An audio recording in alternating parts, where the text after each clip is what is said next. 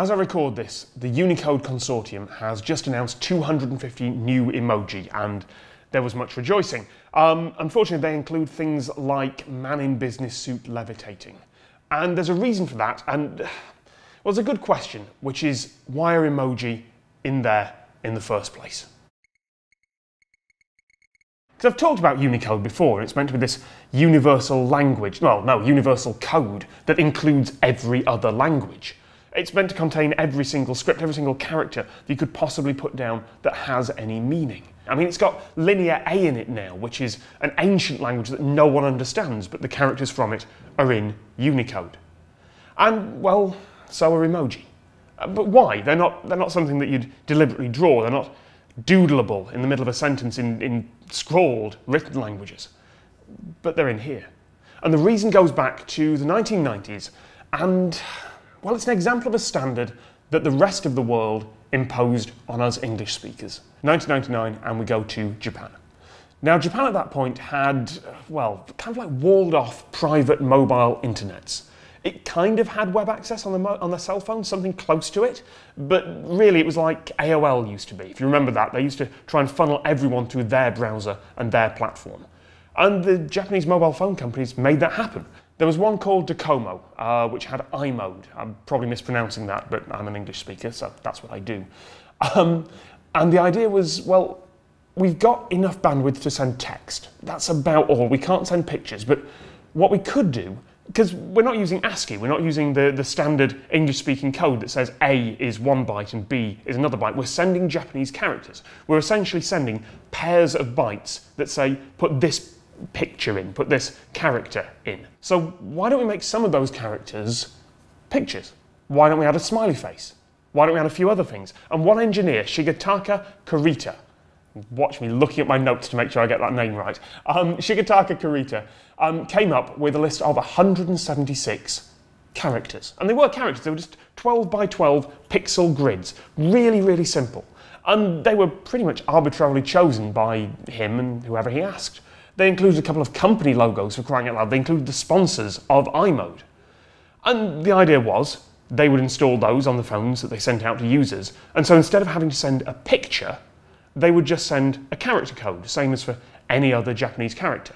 And if you're using an iMode phone, you would send a smiley face, and a smiley face would come out the other end. Which was great if you were both using iMode phones, but then all the other network providers came up with their own list of emoji. Generally different. Not in all, but in most of the characters. They chose different ones, they chose different interpretations. So if you sent one character from an iMode phone to someone on um, another network, then it wouldn't come through as intended. So that's the first stage. Stage two, along comes the Unicode Consortium. And they say, right, all these encodings of all your letters, we're just going to put them into one central thing. We're going to put them into Unicode. Everyone can agree on it. You can send your documents internationally. Brilliant. Except all the Japanese people consulting on this said, great, you're putting emoji in there as well, right? And the Unicode Consortium had a very long and very pitched battle about this and eventually decided that yes, emoji would be going in because, because one of their, their goals is that you should be able to translate two ways. You should be able to translate documents into Unicode and out of it. So you need emoji in there or you're going to lose data. So in go the emoji. And that's stage two. Stage three, Apple comes along. And we're a few years later now. Apple is launching the iPhone in Japan, and one of the first complaints they get back is it doesn't have emoji. We can't understand, it's just coming through as junk. So Apple in iOS 2, way, way back when, adds emoji, but you needed a Japanese SIM card in there, and no one really noticed. iOS 4, iOS 5 come along, they decide, well, we might as well turn this on for everyone. Everyone's using Unicode now. So let's just add a keyboard in there that says emoji. It wasn't meant to go worldwide. It was never, ever meant to become as big as it did. And yet, someone noticed, oh, I can, I can add an emoji. Why am I not holding my phone for this? Someone went, oh, I can add an emoji keyboard. There's a, there's a setting in there. And then they sent a smiley face. I'm going to pretend it was a smiley face. Let's be honest, it was almost certainly the little pile of poo. They sent it to their friend. And a friend with an iPhone said, that's amazing. This is brilliant. How do I turn that on? And they did. And they sent it to their friend. And they sent it to their friend. Accidentally, Apple had created something wonderfully viral just by turning on a hidden setting. So that went massive. And all of a sudden, all the other phone companies, uh, Android, Microsoft, are going, oh, we've, we've got to add this as well because people are texting these emojis to, to Android phones and, uh, and we're not understanding them. So they add it in. Um, web browsers now have to try and cope with it. Uh, Firefox does very well. Firefox uh, will look through the other fonts on your system for emoji and use them if it can. Chrome fails somewhat, so there's all kinds of hacks being put in there. Everyone is trying to add emoji to their systems. Again, never intended to go this far, but here we are. And then, well, people who don't understand where this came from, which is, let's be honest, pretty much everyone, are looking at the list of pictures and they're going, Apple, because they've assumed this is an Apple thing. Apple, why have you added bento box, but not say taco? And what is a bento box? It's a, it's a kind of lunchbox. They've said, Apple, why, why have you added this kind of this kind of weird five-pointed blossom with a circle in it and some writing? It's actually the stamp that a Japanese teacher would put on a school child's work to say well done.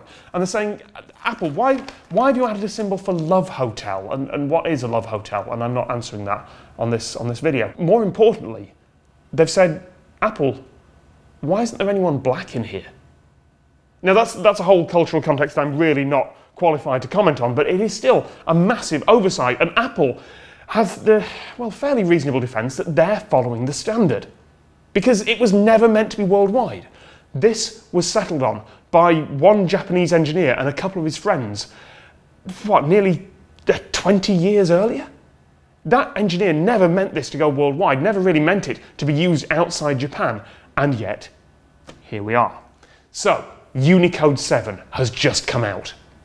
And this is the exciting one. This is, oh, we've got new emojis. We've got new things to play with. So when it finally goes onto your phone, you'll be able to scroll through the list. And you'll be able to say, oh, brilliant, they've, they've added a, a portable stereo boombox like it was the 1990s. And, and you'll be able to say, oh, they've, they've added a, a five and a quarter inch floppy disk like it's the 1980s.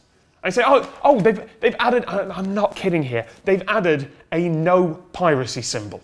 And the no piracy symbol, I am not joking here, is a man with a beard and an eye patch and a big Ghostbusters no symbol through him. They've added wingdings.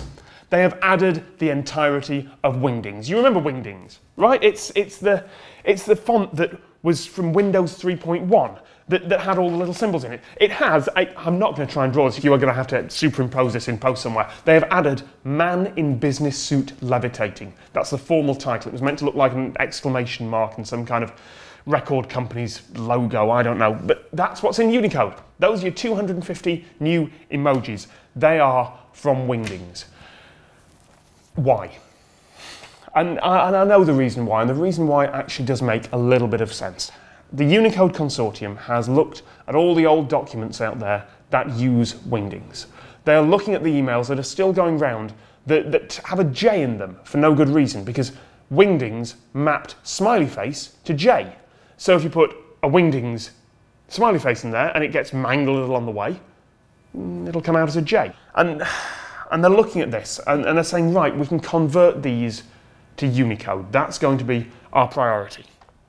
Which makes an odd sort of sense, but it doesn't solve any of the cultural problems. I mean, it just adds new ones. What you have here is, the, the equivalent of those original emoji. You have some symbols that were decided on literally a quarter of a century ago by some engineers in Microsoft.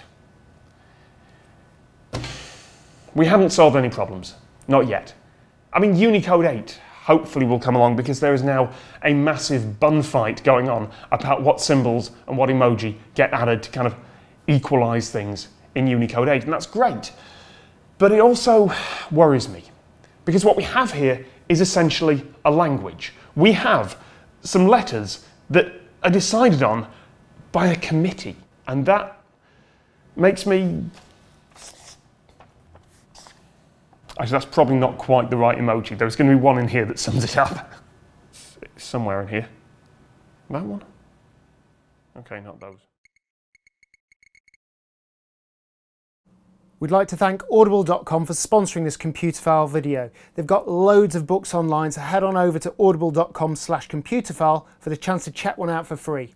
Today I'd like to recommend The Most Human Human by Brian Christian. It all surrounds this Turing test, the idea of can a computer pretend to be human? And if that is the case, then what makes humans human? Um, really, really fascinating stuff. So check that out. Get over to audible.com slash computerphile and thanks once again to them for sponsoring this Computerphile video. You need something that's going to work more or less for ASCII, or at least not break things, but still be understood. So what you do is you start by